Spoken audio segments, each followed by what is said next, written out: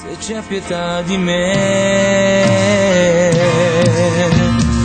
Vivrò cent'anni e una vita in più e che il conto torni o no, io me ne fregherò. Vivrò nel ghetto dei miei perché finché avrò